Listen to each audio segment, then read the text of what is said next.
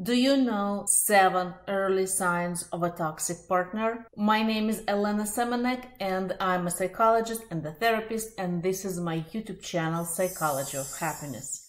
Today we're talking about seven red flags that you might be dealing with a toxic dynamic. Let's start. Number one, excessive jealousy. If your partner becomes overly possessive, constantly questioning your whereabouts or isolating you from friends and family, it's time to take notice. Healthy relationships are built on trust, respect, and not control. Number two, controlling behavior. Controlling behavior goes hand in hand with jealousy. If your partner tries to dictate what you wear, where you go, who you talk to, this is a big red flag. Remember, each person in a relationship should have the space and be an individual. Number three is frequent criticism. If your partner criticizes you a lot, if it becomes unhealthy and you feel like you're under pressure, then this is a red flag. Constructive criticism is healthy, but if you feel that you have to defend yourself every time, if you feel that your self esteem goes down, then this is not a healthy dynamic. Number four is emotional manipulation. If your partner likes to play with your feelings and with your fears, if he likes to play with your emotions, if he's trying to use guilt as a method of getting what they want, then this is not healthy. Remember, healthy relationship is always about open communication and being able to be who you are, being able to express yourself, and this includes your emotions and feelings. Number five is lack of accountability.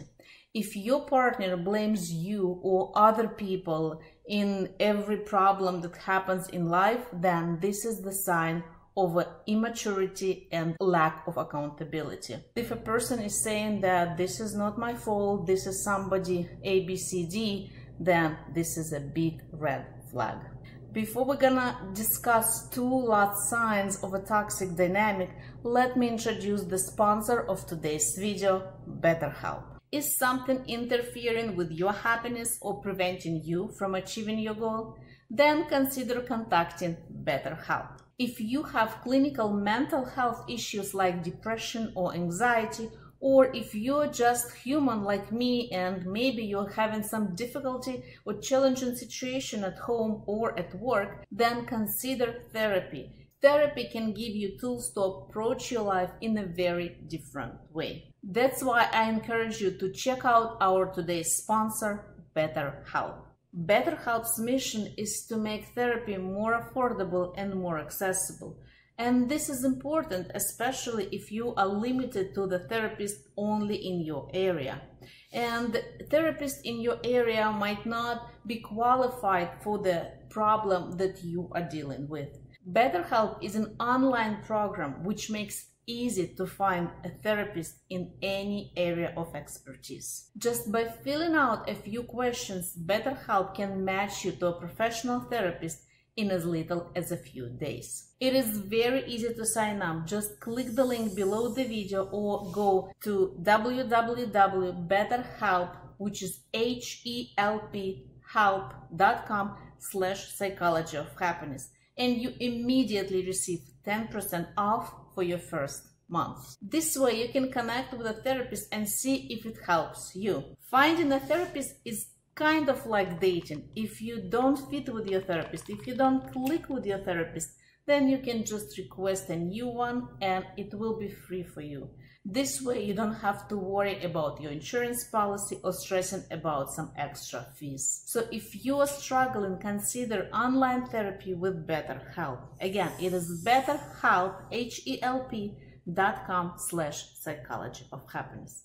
And one more time, thank you BetterHelp for sponsoring this video. Sign number six is isolating from support. If your partner tries to minimize your time with your friends and family, if your partner is judging them or trying to diminish their participation in your life, then this is the sign that he's trying to control not only you, but your life and the amount of time you spend with your relatives and your friends. And your relatives and your friends are your support group. So if somebody is trying to take your support away, then this is a sign of a toxic person. And the last sign is unpredictable mood swings.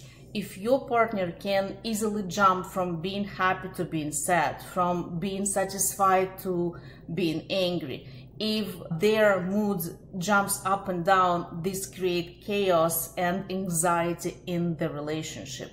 And this relationship cannot last long.